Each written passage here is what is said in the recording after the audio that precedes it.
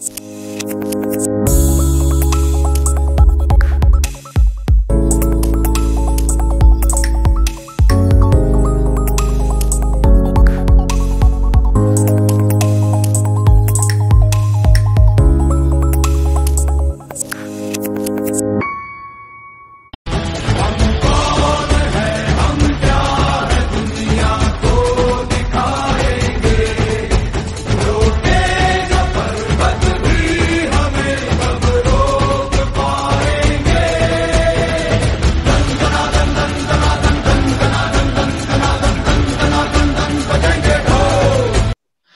Hello and welcome everyone मेरा नाम है दीपक वाधवा।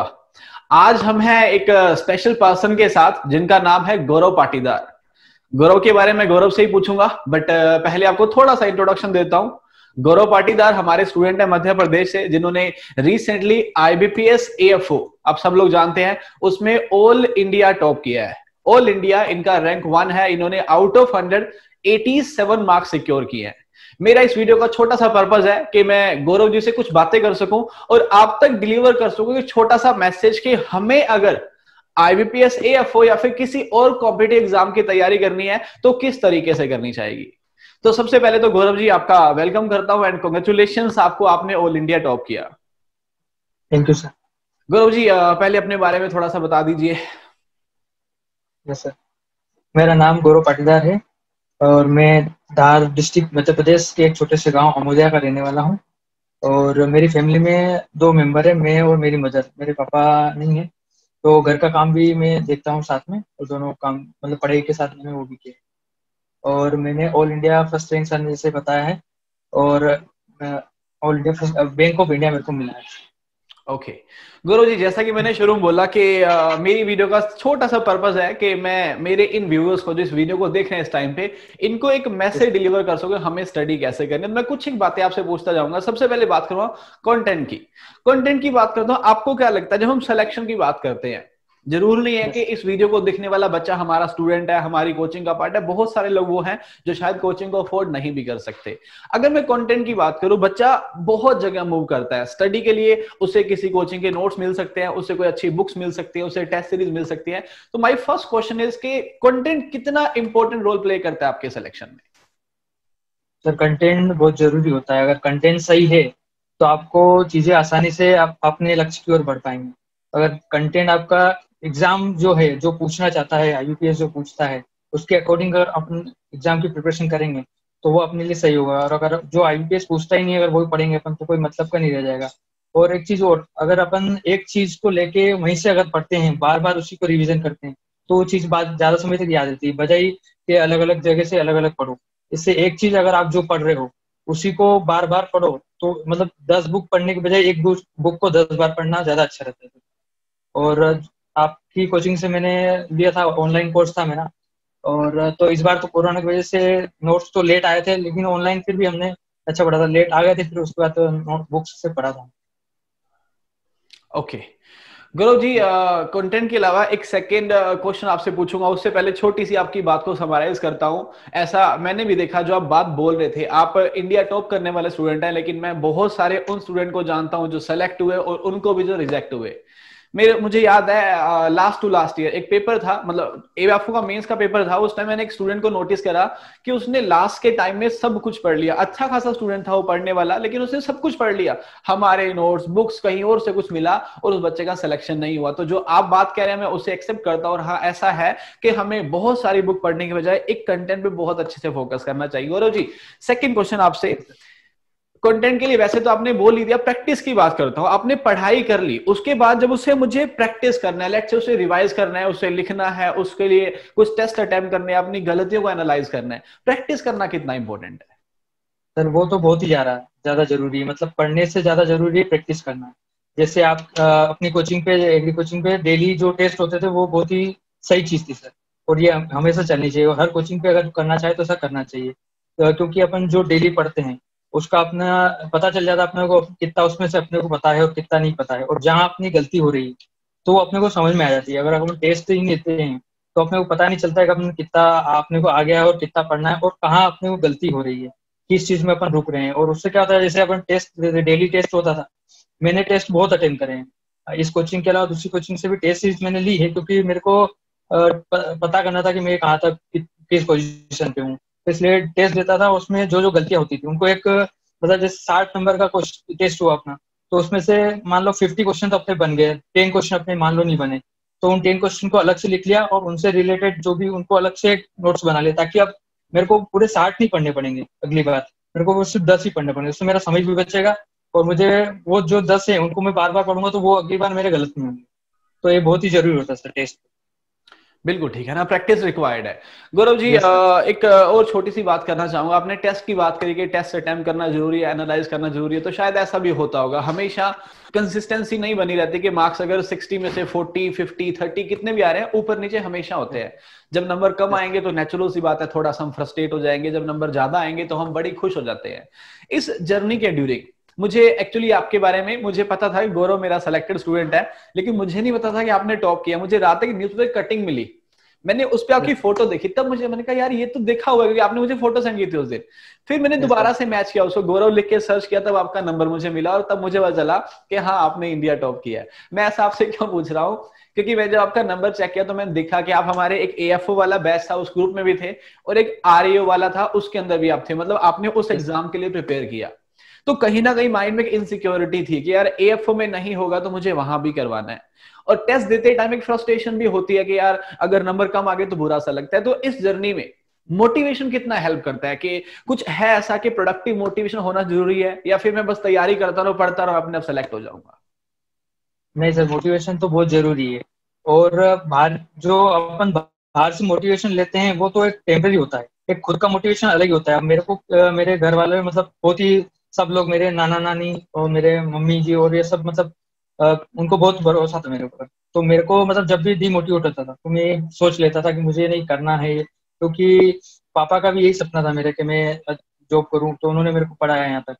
तो जब भी मैं डिमोटिवेट होता तो ये सोचता था। और मेरा हमेशा ये रहता जब भी मैं पढ़ता था ना मतलब सोने के सो, सोते टाइम पे सपने में भी कभी कभी मेरे ऐसा रिविजन चलता रहता था। उठते से ही मेरे दिमाग में चालू हो जाता था एग्रीकल्चर और जहाँ भी मतलब मेरा मोबाइल था तो मोबाइल में मैं फेसबुक फेसबुक तो चलाता नहीं था मैं अभी। इंस्टा पढ़ने के लिए तो इंस्टा पे सारे एग्रीकल्चर के चैनल मैंने फॉलो कर रखे थे। तो उसके बाद व्हाट्सअप और यूट्यूब पे भी सारे एग्रीकल्चर के चैनल मतलब जहाँ भी देखो एग्रीकल्चर के लिए ही मतलब दिखता था मेरे मोबाइल खोलता था एग्रीकल्चर ही चलता था। Good good good okay overall strategy आपकी शेयर कीजिए कि आपने कैसे कैसे क्या क्या प्रिपेयर किया सो so दैट हमारे बच्चे भी उसे सीख सके और उसे फॉलो कर सके। सर मैंने ये मेरा सेकेंड अटेम्प्ट था। Uh, 2019 में मेरा ग्रेजुएशन कंप्लीट हुआ था उसके बाद मैंने लास्ट ईयर मैंने कोचिंग नहीं ली थी। लास्ट में आपके यहाँ से टेस्ट सीरीज़ ली थी मैंने। Uh, तो कोचिंग मैंने कहीं से ली नहीं थी लास्ट ईयर तो मेरा लास्ट ईयर दो नंबर से रुक गया था। तो फिर भी मैंने पढ़ा था। वही इंदौर से मैंने लोकल से कोचिंग मतलब आर के लिए मैंने कोचिंग की थी आर के लिए। तो वहाँ से मैं पढ़ता था। उसके अलावा ऑनलाइन से भी मैं पढ़ता रहता था, थोड़ा थोड़ा थोड़ा। तो मेरा बेस तो मेरा क्लियर था। तो मैं क्या करता था कि जैसे अब जैसे दोबारा मैंने पढ़ा तो मैं हर हर बार वही चीज़ को दोबारा नहीं पढ़ता था स्टार्टिंग से। मैंने क्या कर रखा था अपने एक अलग से नोट्स बना रखे थे जो मैं पढ़ता था तो एक बार उसको पढ़ता था, उसमें से जो गलतियाँ मेरी रहती थी, उसको मैं अलग से लिख लेता था। फिर उसको दोबारा में नहीं पढ़ता समय बचाने के लिए। फिर जो मेरा गलत होता था उन्हीं उन्हीं को पढ़ता था मैं तो उससे क्या होता था वो मेरा अगली बार गलत नहीं होता था। तो जैसे टेस्ट में स्टार्टिंग में नंबर कम आते थे तो फिर जैसे मान लो पहले पैंतीस नंबर आए चालीस नंबर आए तो पंद्रह बीस बीस क्वेश्चन अपने आ, कम गलत बनते थे तो उनको लिखते थे। उनको याद किया धीरे धीरे धीरे धीरे बढ़ते बढ़ते क्वेश्चन कम होते जाते थे मतलब। और टेस्ट में क्या होता बार बार चीज़ें रिपीट होती रहती है क्वेश्चन रिपीट होते हैं। तो अपने को ऐसे भी याद हो जाते हैं बहुत सारी चीज़ें। तो यही रहता था मेरा और पढ़ने का तो यही था कि मतलब मैं घर से बाहर ज़्यादा जाता नहीं था। और पढ़ने का काम ही रहता था मतलब सब दूर अंदर ही रहता था घर में और सुबह से पढ़ना रहता था और जब भी मतलब टाइम वेस्ट नहीं किया मैंने ज़्यादा। सुबह से जैसे मैंने बताया कि उठते से दिमाग में चालू हो जाता था एग्रीकल्चर और रात को सोने तक चलता ही रहता था। और जैसे कहीं जाना भी होता था कभी कभी जाना पड़ता था तो कोई सामने से बात भी करता था तो मतलब दिमाग में अपने कुछ और चल रहा है। वो भले ही बात कर रहा है तो ध्यान नहीं जा पाता था। मतलब मैं किसी सही से मिल नहीं पाता था। मतलब और बहुत सारे शिकायत भी करते थे तो मिलता नहीं, आता नहीं, जाता नहीं। पर अब क्या बताऊ उनको, sir? Okay so so, Gaurav ji आपकी बातों को फिर से मैं समराइज करूँगा कि आपने बोला सबसे पहले तो सेल्फ इवेल्युएशन कि जो मैं गलत कर रहा हूँ जो नहीं कर रहा हूँ उसे आपने रिपीट किया। सारा नहीं करना बट हाँ वो करना है मतलब सेल्फ इवेल्युएशन बहुत इंपॉर्टेंट है। सेकंड पार्ट आपने सोशल कनेक्टिविटी की बात करी फिर चाहे वो सोशल मीडिया आपने बोला कि फेसबुक नहीं चलाता था फ्रेंड से कम मिला। हाँ ऐसा भी है शायद कि गोल अचीव करना है तो अल्टीमेटली सपनों को देखना पड़ेगा। या तो अपने दूर होते हैं या सपने दूर होते हैं बिल्कुल है ना? और एक आपने जब बात करी सेलेक्टिव स्टडी की वो पढ़ रहा हूँ जो मुझे नहीं आता। दैट मीन्स आज के टाइम कॉम्पिटेटिव एग्ज़ाम में हमें स्टडी नहीं सेलेक्टिव स्टडी करना ज़्यादा इंपॉर्टेंट है। गौरव जी लास्ट बात आपसे पूछना चाहूँगा। लोग बहुत आपकी वीडियो को देख रहे हैं और वो चाह रहे हैं कि आप कुछ ऐसा बोल दे जो उनके भी काम आए। तो लास्ट क्वेश्चन मेरा आपसे, हमारे स्टूडेंट्स के लिए आपका क्या मैसेज है? सर स्टूडेंट के लिए यही है कि अगर आपका लक्ष्य है कि हमें एग्रीकल्चर फ़ील्ड ऑफिसर बनना है तो दूसरी चीज़ों को भूलना पड़ेगा, छोड़ना पड़ेगा कुछ समय के लिए। जैसे भी क्या होता था कि मेरे भी दोस्त थे, रिश्तेदार से सब नाराज़ होते थे। कभी किसी की शादी में नहीं जा पाया, किसी की था तो नाराज़ होते थे। तो एक बात यही है कि अगर तुम अगर कुछ कर लोगे या बन जाओगे ना तो वो जो नाराज़ हो रहे ना, उनकी भी राय बदल जाएगी तुम्हारे लिए और आ जाएँगे, कोई दिक्कत वाली बात नहीं है। तो इससे डरने की ज़रूरत नहीं है, अपना लक्ष्य है जो बनाया है।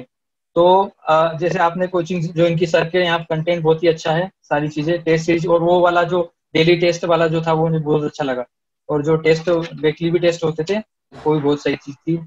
तो यही है कि अगर अपना लक्ष्य है तो उसके लिए लगातार करते रहो काम।